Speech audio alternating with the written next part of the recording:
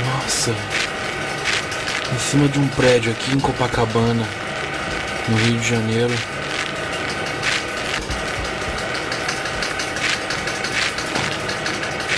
Meu Deus. Eu tô sozinho em casa.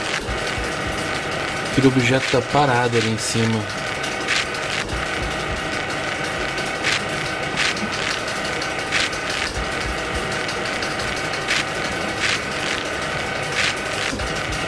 Se mexeu ali.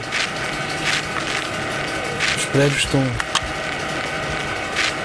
Liguei o night shot. Tô dentro de casa. De madrugada você vê que. Aqui são os apartamentos aqui.